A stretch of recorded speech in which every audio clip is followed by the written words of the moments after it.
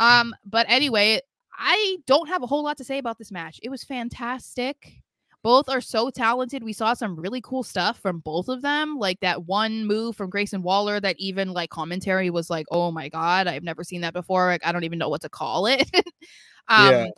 And I think the huge benefit of that and the reason why they probably chose Melo, at least one of the reasons, is because they have worked together so much during their time mm-hmm. in NXT. So it was bound to be a banger match. And I'm so glad that that's what happened. And I was actually kind of surprised that Melo won. Honestly. Oh, I wasn't. I I, I knew I, Melo was good. I, I I was just kind of surprised because I think it's I think it's more so just because of his uh involvement in like a big storyline in NXT right now. So that's why it was True. like, oh, True. to further him into the the tournament. It was like, oh, okay, like that was just kind of mm-hmm. surprising but i i'm interested in it and i'm glad you know i mean i don't i wouldn't have an issue if waller was and i think obviously that plays into the whole logan paul aspect because he was saying grayson waller's my dude and austin theory's my guy like now they're both out so it's like okay now he has to feel he actually has to face off with people who he can't just be like lay down on the mat and let me pin you you know yeah, like yeah, exactly. so i think that that's that's one benefit to it i think for sure that um, move that Waller did from mm-hmm. the middle rope Oops. was insane. No, I know, and I I, I want to know what the name of it is because I don't even think they knew.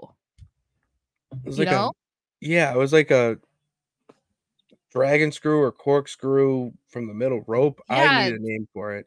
I think the only thing that they basically knew was that um it was a DDT type of thing. Like that was all that they could say. Like it was yeah. just like, yeah, uh, I don't know. So and maybe that was the first time he's ever done it. I don't know, but uh, still, it was a cool move. So.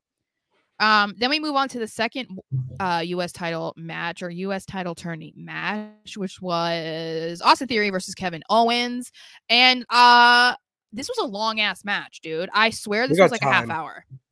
I, it they feels like I, I swear to God, it was a half hour, which I'm not complaining, but I was just no. kind of surprised because uh, it's just a tournament match.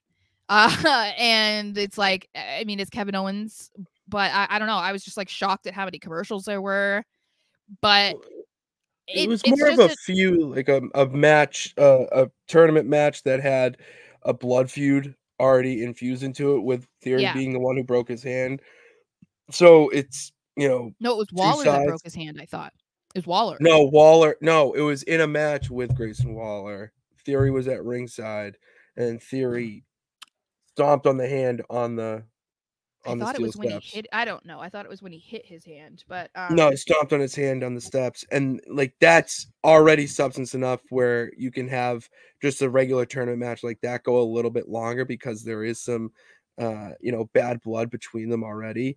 I yeah. and I like that they're doing that now. You know, yeah. they're not just having these matches just to have them and oh they have some history so let's just put them in the match. No they're bringing in their feud into the match itself. It's brilliant.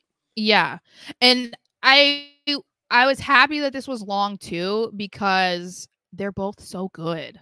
And we knew that about kevin owens so it's not like we mm-hmm. needed a, a reminder of it but austin theory man like him and waller put on hell of a match each individually like this was just a, a, a, like a good reminder for people who maybe don't pay attention to Austin Theory that much that like no he's actually really good in the ring and that's the mm. problem that we have talked about before that a lot of the time people will take their personal opinion of them based on their character and kind of mm. write them off and say they suck they're this and that and it's because they don't like them, so they don't pay attention to their in ring ability. Yeah. and exactly. so people are like, Theory sucks. And it's like, no, like you might not like his uh character, but he actually doesn't suck. He's really good. He's really good. That standing Spanish fly was unbelievable. Or springboard, excuse me.